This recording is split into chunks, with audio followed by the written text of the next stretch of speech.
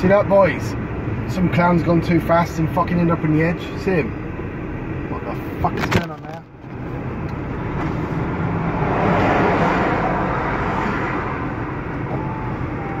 Yeah, look. He's been tanking it down here too fast. Not anticipating the fucking road, look. So fucking lunatic's gone fucking veering off the road. Fucking lunatic bastards.